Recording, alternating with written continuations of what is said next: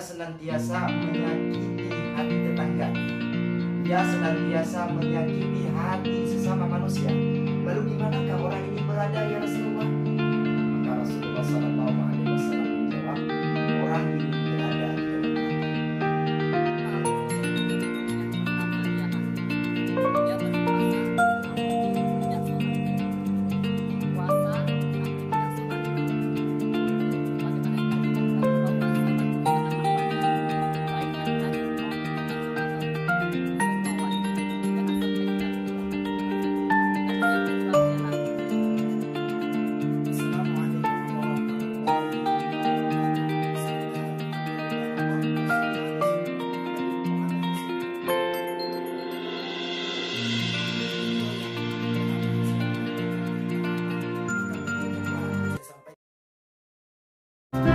Nah, berbahagialah kita umat Islam menyambut bulan yang istimewa ini.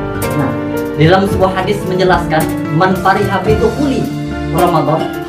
Yang berbunyi al jannatu mustaqah arba'atun nafar talil Quran wa hafizil lisan wa ta'amil ji'an wa sawmi fi Ramadan ada empat golongan kata Rasulullah yang dirindukan oleh surga.